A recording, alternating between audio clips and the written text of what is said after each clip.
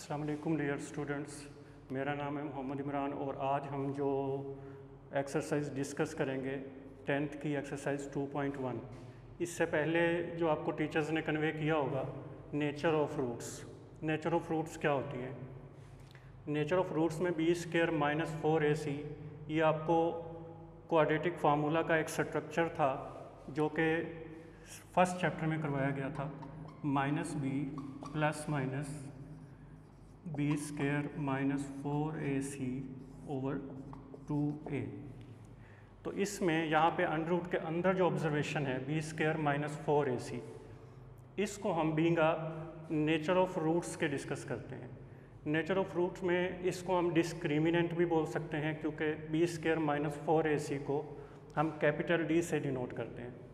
तो इसमें nature of roots के हिसाब से अगर हम डिस्कशन करें तो B square minus four A C का आंसर अगर ज़ीरो आए तो हम उसको कहेंगे कि ये कौन सी नेचर है? ये है equal same B square minus four A C greater than zero greater than zero का मतलब है कि अगर इसका आंसर कोई पॉजिटिव नंबर आए। पॉजिटिव नंबर मीन अगर इसका आंसर आ जाए फाइव तो इस रूट्स को हम जो नाम देंगे, वो देंगे कि ये है रियल और रियल के साथ साथ हम इसको अनईक्वल भी कह सकते हैं, क्योंकि इक्वल जो होगा वो इज़ इक्वल टू ज़ीरो होगा तो अनईक्वल मीन जो ज़ीरो के इक्वल नहीं होगा. Same B square minus four A C इसका थर्ड स्ट्रक्चर है. It is less than zero less than zero mean इसका आंसर अगर क्या आ रहा हो, एक नेगेटिव नंबर आ रहा हो. नेगेटिव नंबर मीन फाइव की बजाय अगर हम इसको कर लेते हैं माइनस फाइव तो इसको हम क्या कहेंगे? इसको हम कहेंगे इट इज़ इमेजिनरी कि ये जो नेचर ऑफ़ रूट है, ये इमेजिनरी है. Same B square minus four A C greater than zero इसकी फोर्थ कंडीशन में बोल रहा है greater than zero but a perfect square यानी कि इसका जो आंसर आ रहा होगा वो एक परफेक्ट स्क्वेयर होना चाहिए। फॉर एग्ज़ाम्पल ये फाइव है तो फाइव परफेक्ट स्क्वेयर नहीं है। अगर फाइव की जगह पे इसका आंसर आ जाए फोर नाइन सिक्सटीन ये सारे क्या हैं? परफेक्ट स्क्वेयर हैं। परफेक्ट स्क्वेयर मीन अगर हम फोर को डिस्कस करें तो फोर होगा टू का स्क्वेयर नाइन क्या होगा? थ्री का स्क्वेयर और सेम सिक्सटीन क्या होगा? फोर का स्क्वेयर तो जब इसका कंप्लीट स्केयर बनेगा तो उसको हम बोलते हैं greater than zero but a perfect square it is called rational इस रूट का रूट्स का क्या नाम होगा? रैशनल रैशनल के साथ हम इसको ये भी कह सकते हैं कि ये रियल भी है। रियल क्यों है? क्योंकि ये ग्रेटर देन ज़ीरो भी है। और सेम इसको हम रैशनल रियल एंड अनईक्वल भी कह सकते हैं, क्योंकि अनईक्वल की ये कंडीशन है कि जब वो ज़ीरो के इक्वल नहीं होगा first condition same number five है b square minus four a c greater than zero but not a perfect square not a perfect square mean four nine and sixteen इनके अलावा अगर कोई नंबर हो for example four की बजाय three हो तो it is not a perfect square same nine की बजाय अगर एट हो सिक्सटीन की बजाय अगर फिफ्टीन हो ग्रेटर देन ज़ीरो तो हो मीन पॉजिटिव तो हो, लेकिन उसका कंप्लीट स्केयर ना हो। इनमें से किसी का भी स्केयर जनरेट नहीं होता तो इसको हम क्या बोलेंगे? इसको हम बोलेंगे इरेशनल इरेशनल लेकिन इसको हम रियल और अनइक्वल भी कह सकते हैं। रियल इस फॉर्म में, क्योंकि ये ग्रेटर देन ज़ीरो है, और अनइक्वल इस फॉर्म में, क्योंकि ये ज़ीरो के इक्वल नहीं है। अब इन पाँच कंडीशंस को आपने अच्छे से प्रिपेयर करना है तो आप एक्सरसाइज का क्वेश्चन नंबर वन और क्वेश्चन नंबर टू दोनों बहुत इजीली सॉल्व कर सकते हैं। यहाँ पे मैंने क्वेश्चन नंबर वन का पार्ट नंबर वन लिखा हुआ है। इसमें आपको एक क्वाड्रेटिक इक्वेशन दी जा रही है। Two x square plus three x minus one is equal to zero अगर इसको हम कंपेयर करें क्वाड्रेटिक इक्वेशन की जनरल फॉर्म के साथ। ये है क्वाड्रेटिक इक्वेशन की जनरल फॉर्म जिसको आपने चैप्टर नंबर वन में डिस्कस किया होगा। तो इसको और इसको अगर हम कंपेयर करते हैं तो a इज़ इक्वल टू आता है two b is equal to आता है थ्री और सी इज़ इक्वल टू क्या आता है? माइनस वन अब आपको क्वेश्चन के स्टेटमेंट में जो कहा गया है, वो क्या कहा गया है कि फाइंड डिस्क्रिमिनेंट मतलब वो अभी नेचर ऑफ़ फ्रूट डिस्कस नहीं कर रहा। सिंपल इतना कह रहा है कि इसका डिस्क्रिमिनेंट फाइंड करें। और हमें डिस्क्रिमिनेंट का पता होना चाहिए। D is equal to minus d is equal to b square minus four a c अब d is equal to b square minus four a c में जब हम वैल्यूज़ पुट करते हैं तो बी की जगह पे हम क्या लिख सकते हैं? थ्री का स्केयर माइनस फोर ए की वैल्यू टू और सी की वैल्यू माइनस वन थ्री का square it is equal to nine minus minus plus four twos are eight twos are four twos are eight eight one is eight nine plus eight nine plus eight is equal to seventeen ये क्या है? Discriminant लेकिन इस question में उसने nature of root discuss नहीं है। आपसे पूछा नहीं है, लेकिन अगर हम डिस्कशन उसको करें भी सही तो d is equal to seventeen d is equal to seventeen का क्या मतलब है? It is greater than zero क्योंकि seventeen is a positive number दूसरी चीज़ क्या होगी? It is greater than zero but not a perfect square वो एक परफेक्ट स्केयर नहीं है। सिक्सटीन अगर हो तो वो क्या होगा? It is a perfect square of four तो नॉट अ परफेक्ट स्केयर तो इस हवाले से हम इसको क्या कह सकते हैं? इरेशनल इसकी रूट्स नेचर ऑफ़ रूट्स में आ जाएगा। और पहली चीज़ क्या होगी? D is greater than zero it is positive seventeen it is a positive number so इसको हम क्या कह सकते हैं? रियल रियल इरेशनल और इसके साथ हम इसको एक तीसरी रूट्स के नाम से भी जानते हैं, क्योंकि d is greater than zero it is unequal तो इस क्वेश्चन में अगर फाइंड डिस्क्रिमिनेंट के बजाय क्वेश्चन नंबर टू है एक्सरसाइज 2.1 का, उसको अगर डिस्कस किया जाए कि इसकी नेचर ऑफ़ रूट क्या है तो वो क्या होगी? वो रियल भी है वो इरेशनल भी है और सेम वो अनइक्वल भी है।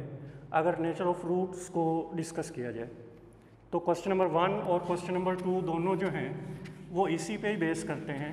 Discriminant b square minus four a c इसमें आपने इन वैल्यूज़ को ए बी और सी की वैल्यूज़ को पुट करना है आंसर जनरेट करना है कैलकुलेशन करनी है और आंसर की बेस पे आपने उसे बताना है। अगर हम नेचर ऑफ़ रूट्स बताएँ तो रियल अनइक्वल और इरेशनल बिल्कुल इसी जगह पे अगर मैं इसको कन्वे करना चाहूँ आप लोगों को, अगर डी का आंसर आपके पास आ जाए सिक्सटीन तो ये रियल होगा सेवनटीन की तरह। सेम ये अनइक्वल भी होगा। But it is a rational number because 16 it is a square of four तो इसको हम क्या बोल सकते हैं? It is a rational nature of root question number one और क्वेश्चन नंबर टू को आप बहुत अच्छी तरह से प्रैक्टिस कर सकते हैं। अगर आप इसको केयरफुली एक दफ़ा सॉल्व करके देख लें। इसके बाद हमारे पास question number three question number three में find the value of k same nature of roots के डिस्क्रिमिनेंट के ज़रिए आप कर सकते हैं। क्वेश्चन नंबर थ्री और क्वेश्चन नंबर फोर दोनों सेम हैं। अगर हम के की वैल्यू फाइंड करना चाहते हैं, k square x square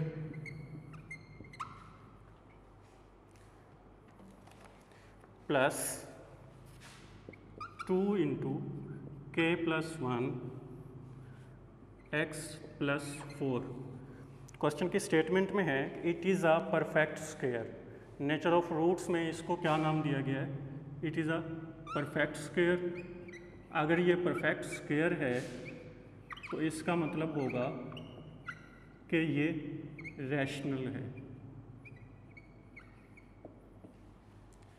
K square x square plus two into k plus one x plus four इसमें अगर हम क्वाड्रेटिक इक्वेशन की जनरल फॉर्म को अप्लाई करें।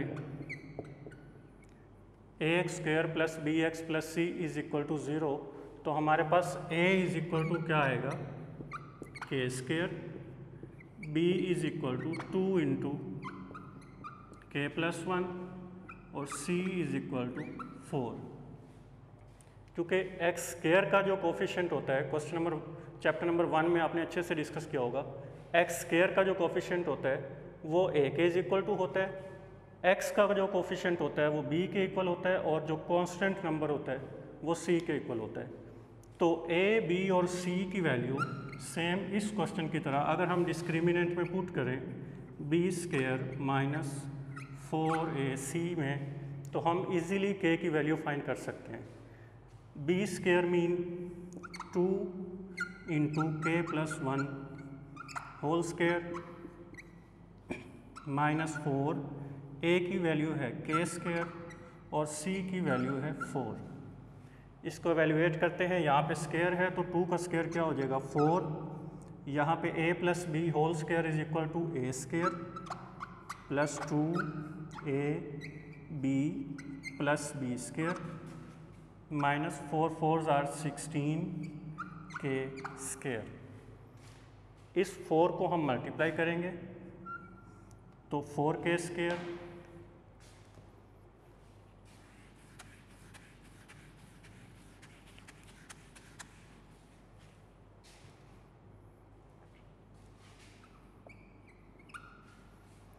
four twos are eight eight k. Same one का स्केयर वन ही होता है। Four one is four minus sixteen k square और ये आप फाइंड कर रहे हैं डिस्क्रिमिनेंट तो कैपिटल डी इस तरफ़ हम प्लेस करेंगे। अब अगर हम इनको कैलकुलेट कर लें के स्केयर को के के स्केयर के साथ कंबाइन करते होते हैं, हमेशा के को के से कंबाइन करते होते हैं और कांस्टेंट को कांस्टेंट से। Four k square minus sixteen k square ये हो जाएगा minus twelve k square plus eight k plus four यहाँ पे हम फोर कॉमन भी ले सकते हैं। अगर हम फोर कॉमन लें इन तीनों टर्म्स में से तो three k square plus two k plus one ये है आपके पास minus three k square plus two k plus one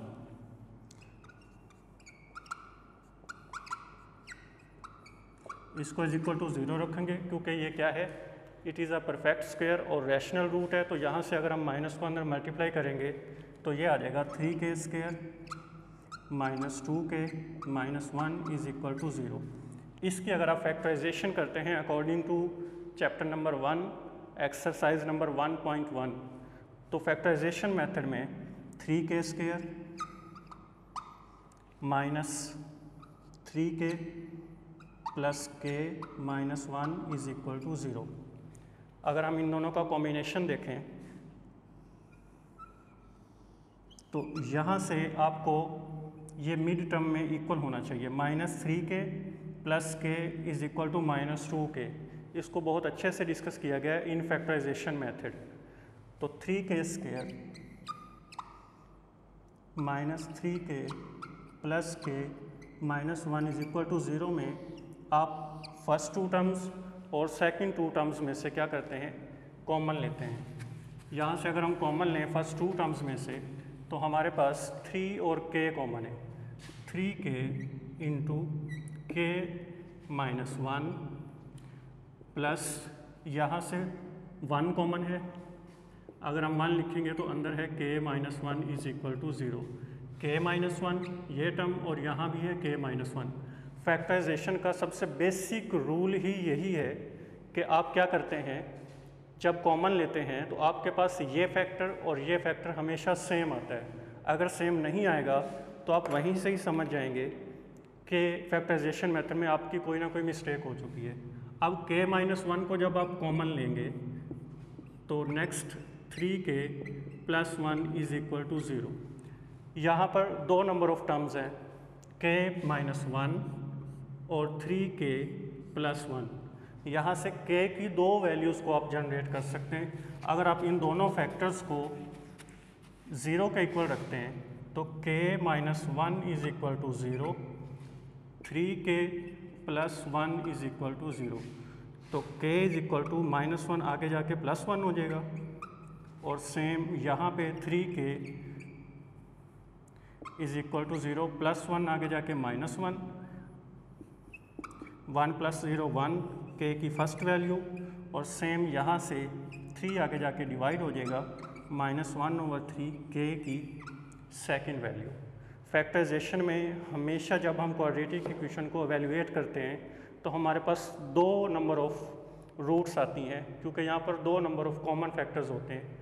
अगर मैं इस क्वेश्चन को दोबारा से एक दफ़ा एक्सप्लेन करूँ तो आप क्वेश्चन नंबर फोर के तीन पार्ट्स हैं, वहाँ से भी आपने क्या करना है के की वैल्यूज़ फाइंड करनी है, आप वो इजीली कर सकते हैं।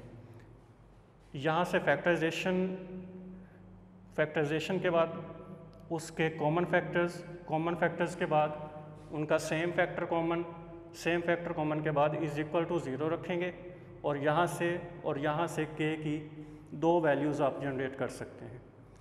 क्वेश्चन नंबर फाइव और क्वेश्चन नंबर सिक्स इसके आगे आने वाले दो क्वेश्चन हैं और वो एग्ज़ामिनेशन पॉइंट ऑफ़ व्यू से भी काफ़ी इम्पोर्टेंट क्वेश्चन थे। और उनमें भी सेम काम है। आप क्या करेंगे? डिस्क्रिमिनेंट को फॉलो करते हुए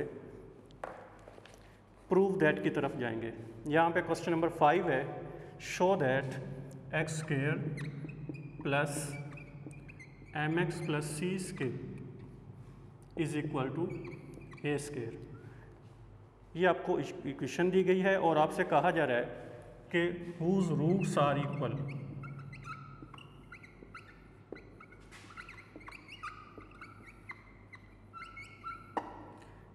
इसमें जो नेचर ऑफ़ रूट है, वो क्या है? इक्वल है। क्वेश्चन की स्टेटमेंट में गिवन है। और आपने शो क्या करना है? C square is equal to a square into one plus m square आपने डिस्क्रिमिनेंट को सॉल्व करते हुए ये शो करना है। C square is equal to a square into one plus m square अब सेम हम पिछले क्वेश्चन की तरह इसमें भी क्या करेंगे?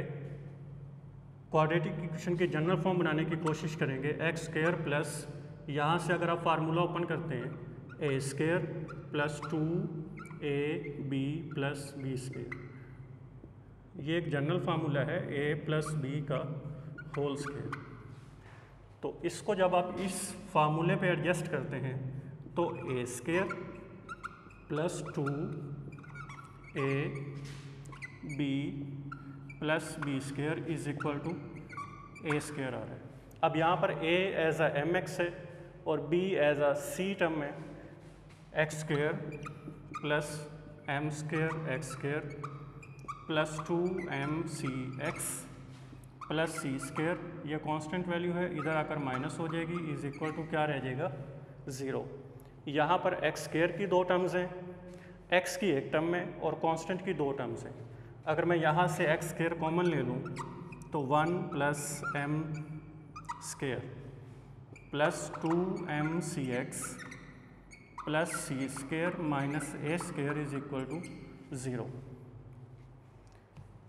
अब इसके नीचे अगर हम जनरल टर्म लिखें क्वाड्रेटिक इक्वेशन की a x square plus b x plus c is equal to zero जैसा कि हमने पिछले दो क्वेश्चंस में किया तो एक्स स्केयर का जो कोफिशेंट होगा it is equal to a x का जो कोफिशेंट होगा it is equal to b और कांस्टेंट नंबर जो होगा, जो विदाउट एनी वेरिएबल नंबर होता है, इसमें वेरिएबल एक्स है तो एक्स के साथ ना होने की वजह से जितनी भी टर्म्स होंगी, वो क्या कहलाएँगी?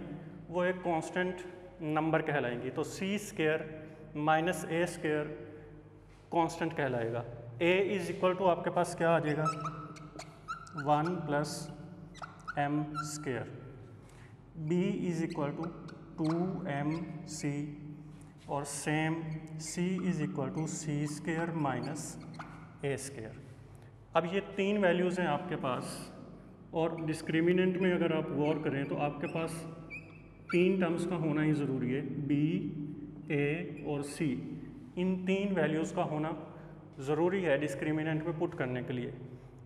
B is equal to two m c तो b की जगह पे अगर हम टू एम सी पुट करेंगे तो बाहर स्केयर है माइनस फोर ए की जगह पे हम वैल्यू पुट करेंगे ए की वन प्लस एम स्केयर और सेम सी की वैल्यू जब हम पुट करेंगे c square minus a square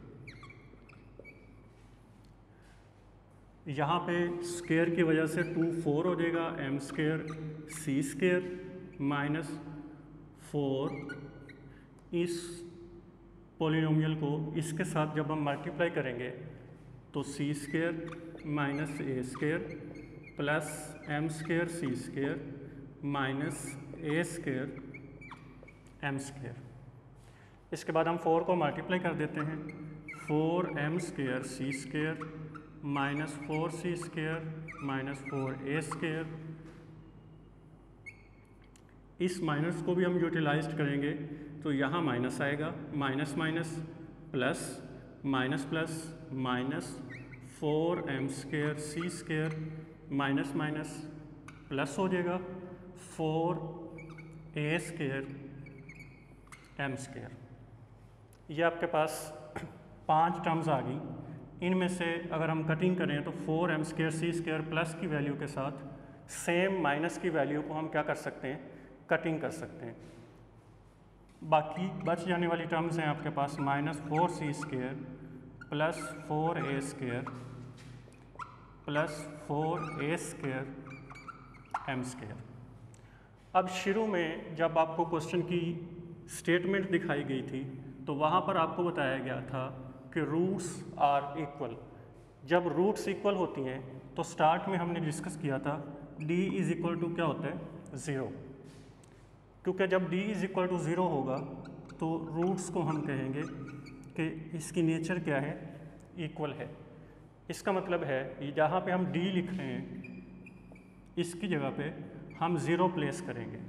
तो zero is equal to minus four c square plus four a square plus four a square m square अब इन तीनों terms में से अगर आप फोर कॉमन लेना चाहें तो minus c square plus a square plus a square m square ये फोर क्योंकि मल्टीप्लिकेशन फॉर्म में है इनके साथ तो इधर आकर क्या हो जाएगा?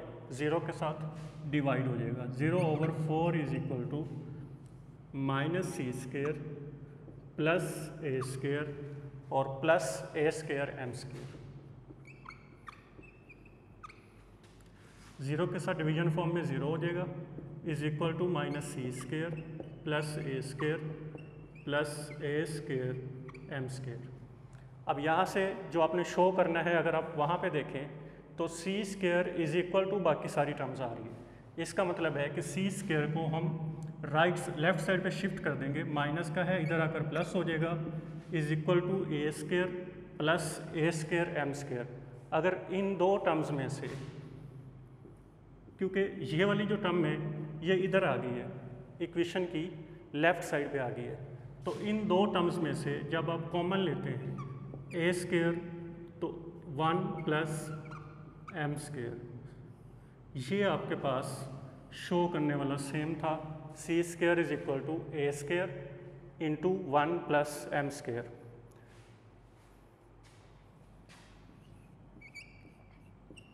अब ये जो क्वेश्चन है, इसको आप फॉलो करते हुए क्वेश्चन नंबर इससे नेक्स्ट जो क्वेश्चन है क्वेश्चन नंबर फाइव है ये तो इससे जो नेक्स्ट क्वेश्चन है क्वेश्चन नंबर सिक्स उसको आप सेम फॉलो कर सकते हैं और इजीली सॉल्व कर सकते हैं। और ऑनलाइन क्लासेस में सबसे जो बेहतर तरीका होता है, वो ये है कि अगर आप पॉज पे करके, जैसे बोर्ड पे प्रॉपर क्वेश्चन किया गया है, उसको अगर आप अपने फोल्डर पे या नोटबुक्स पे कर लें, और जैसे जैसे टीचर आपको कन्वे कर रहा होता है, वैसे वैसे अगर आप हर स्टेप्स को प्रॉपर फॉलो करते जाएँ, क्योंकि नोट आपने पहले ही किया होता है तो आप इसे इजीली समझ सकते हैं। आज हमने एक्सरसाइज नंबर 2.1 का question number one two question number six discuss किया जिसमें नेचर ऑफ़ रूट से लेके आगे वेरिएबल्स की वैल्यू निकालना और फाइनली ये एक क्वेश्चन था जो कि शो करना था आपने टू द गिवन इक्वेशन